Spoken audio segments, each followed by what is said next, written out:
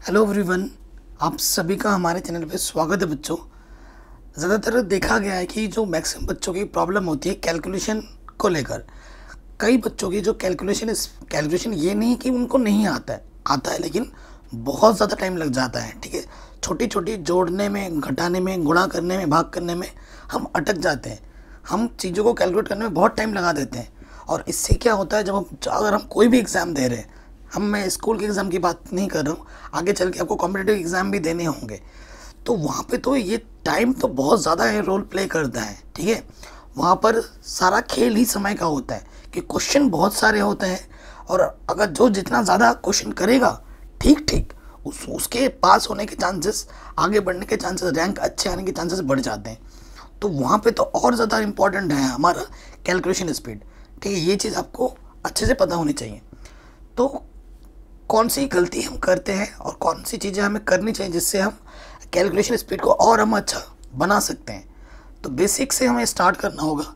कई बच्चे ऐसे होते हैं ना, जिनको जोड़ घटाना गुणा भाग नहीं आता। पहाड़े नहीं आते, गिनती नहीं आती। वो बड़े बड़े चीज़ों पर हाथ मारना शुरू कर देते हैं। नहीं, ऐसा बिल्कुल नहीं करना है। हमेशा बेसिक से शुरुआत करनी है आपको। ठीक है? बेसिक से कहने का मतलब अगर आता है, नहीं आता है, दोनों के लिए बोल रहा हूँ। बेसिक से स्टार्ट करना है। जैसे कि गुणा सीखो, भाग सीखो, जोड़ सीखो, घटाना सीखो। सिंपल वाले, हासिल का जोड़ सीखो, हासिल का घटाना सीखो। ये पहले सीख लो। ठीक है? ये ज़रूरी है। बच्चों को कैलकुलेशन क्यों नहीं आता है? क्योंकि हमारे हाथ में आ गया आपके पास, सबके पास मोबाइल पहले मोबाइल नहीं था, हम कैलकुलेटर खरीदने जाते थे मार्केट से। कैलकुलेटर का फिर यूज़ करते थे। लेकिन फिर भी कई बच्चे होते थे कैलकुलेटर खरीदने के पैसे नहीं होते आज के ज़माने में हर किसी के पास मोबाइल है। मानते हो? मोबाइल में कैलकुलेटर है बच्चा एफर्ट लगाना ही नहीं चाहता, मेहनत करना ही नहीं चाहता। सोचेगा जोड़ने घटाने में टाइम लग रहा है, यही करते हैं। और यहीं से हमारी आदत बिगड़ जाती है। आदत पड़ जाती है। कुछ भी जोड़ना हो, घटाना हो, मोबाइल उठा लेंगे कैलकुलेशन करना शुरू कर देंगे। और फिर जब एग्ज़ाम में सिंपल जोड़ भी आ जाएगा ना, वहाँ पे अटक जाओगे। पाँच प्लस छः कितना होता है? सोच में पड़ जाओ, अरे भाई, कितना होता है? पाँच प्लस से ग्यारह होता है, तुरंत आना चाहिए। लेकिन नहीं आएगा, क्योंकि हमें उस चीज़ की आदत पड़ चुकी है, लत पड़ चुकी है। हमारा माइंड उसी चीज़ की ओर इशारा करेगा। कैलकुलेशन करने से भी हमारा माइंड घबराएगा, क्योंकि तुमने उससे उसकी आदत लगा दी है। ठीक है? तो हमेशा एक चीज़ दूर रहना, वो है कैलकुलेटर कैलकुलेटर मोबाइल्स की कैलकुलेशन से हमेशा दूर रहो। चाहे वो कितना ही टफ कैलकुलेशन हो या कितना ही ईजी कैलकुलेशन हो, आपको हमेशा कॉपी और पेन से खुद के, खुद को सॉल्व करना है। किसी की सहायता नहीं लेनी है। ठीक है? भले ही आप स्टार्टिंग में आपको पाँच मिनट लग रहा है कैलकुलेशन लगने में। लगाओ कैलकुलेशन करो। लेकिन आगे चल के वही पाँच मिनट, चार मिनट होगा, तीन मिनट होगा, दो मिनट होगा, एक मिनट होगा सेकंड्स में आ जाएँगे। ये एक दिन की जर्नी नहीं होगी। ये आप बार बार प्रैक्टिस करोगे बार बार रिवीजन करोगे गिव अप नहीं करोगे, तब जाके आप सीखोगे। एक दिन का काम नहीं है। इसमें समय लगता है। ठीक है, मैं आपको थोड़ा सा स्टोरी भी सुना देता हूँ।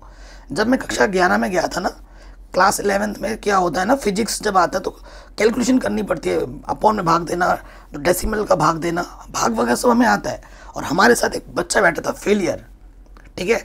वो फेलियर बच्चा था, उसको कैलकुलेशन अच्छे से आती थी। हम टेंथ वाले अभी इलेवेंथ में आए थे तो हमें थोड़ा सा एडजस्ट करने में टाइम लग रहा था, क्योंकि दशमलव की घात में, दस की घात माइनस पावर माइनस ऐसा कुछ होता था ना तो हम अटक रहे थे। वरना वही फेलियर बच्चा है। उसके, वो फटाफट सेकंड्स में कर दे रहा है। और देख बोल रहा है, ये देख ये देख ये देख। और हम उसकी तरफ़ ऐसे देख रहे हैं। हम सोचते हैं, यार फेलियर हो के इसकी कैलकुलेटर ये इतनी जल्दी जल्दी आंसर निकाल दे रहे हमें हमें क्या गलती है? हमें ये गलती थी कि हमारी प्रैक्टिस नहीं हुई थी। वो एक साल से प्रैक्टिस कर रहा था। तब जाके उसकी कैलकुलेशन इतनी अच्छी हुई थी। और हम थे बेचारे नए। हम सिंपल सिंपल कैलकुलेशन करते थे।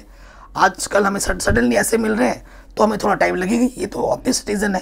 लेकिन हम फिर भी घबरा गए उसे देख के। क्योंकि उसकी कैलकुलेशन अच्छी थी, लेकिन उसके पीछे का राज क्या था? एक साल की मेहनत लगातार प्रैक्टिस ठीक है रिवीजन तो ये चीज़ अगर आपको सच में प्रैक्टिस आपको सच में अच्छा बनना है तो प्रैक्टिस करनी पड़ेगी रेगुलर रेगुलर उसमें एफर्ट लगाने पड़ेंगे. डेली कैलकुलेशन करना पड़ेगा.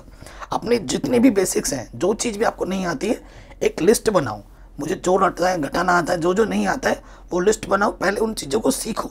जोड़ आ गया टिक घटाना आ गया टिक मुझे एलसीएम निकालना आ गया, टिक। ठीक है एच आ गया, टिक। भिन्नों का जोड़ भिन्नों का घटाना भिन्नों का गुणा, भाग। ठीक है बोर्ड मास रूल दुनियादारी ब्रैक जितनी भी चीज़ें होती हैं बेसिक लेवल पे, वो सब एक लिस्ट बनाओ और सब आना चाहिए। उसके बाद कैलकुलेशन स्टार्ट करो। क्वेश्चन बनाने की प्रैक्टिस करो धीरे धीरे अगर पहले कोई क्वेश्चन चार मिनट लग रहा है तो उसी क्वेश्चन को जब दोबारा बनाओगे, वो तीन मिनट लेगा। दोबारा बनाओगे, दो मिनट लेगा। उसके बाद फिर बनाओगे एक मिनट लेगा। ऐसे प्रैक्टिस प्रैक्टिस करते करते करते वो सेकेंड्स में आ जाएगा। और फिर आपको ये जो पेन उठा के कॉपी में करते हो ना, कई बार ऐसा भी नहीं करना पड़ेगा। आपका कैलकुलेशन आपके माइंड में ही हो जाएगा।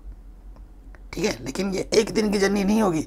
और ये कोई जड़ी बूटी नहीं है कि तुम्हें मैंने दे दी, तुमने खा ली और तुम्हें एक दिन में आ जाएगा। नहीं। इसके लिए आपको लगातार एफर्ट करना पड़ेगा।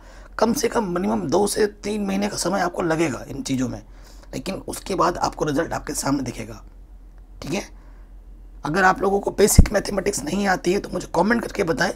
और जो लिस्ट मैंने बोला है कमेंट में मुझे लिस्ट बताओ कि सर हमें ये ये नहीं आता है। इस पर एक वीडियो बनाई है। तो मैं बेसिक मैथमेटिक्स की एक वीडियो बना दूँगा और आपको सारी चीज़ सिखा दूँगा। स्टार्टिंग से, एकदम बेसिक से जोड़ना घटाना गुणा, भाग, सब कुछ। ठीक है? दशमलव का भाग, गुणा, सब कुछ, भिन्नों का जोड़ घटाना एवरीथिंग ठीक है? मुझे बस कमेंट कर देना। आपकी लिस्ट में देखना चाहता हूँ कि तुम्हें कितना आता है, कितना नहीं आता है। तो ये चीज़ों को आप अप्लाई करो, आप मैथमेटिक्स पे आपकी क्वेश्चन बहुत ज़्यादा अच्छी हो जाएगी ये मेरा दावा है आपसे। जय हिंद, इस वीडियो को हर जगह शेयर कर दें। डिस्क्रिप्शन ज़रूर चेक करें। I love you all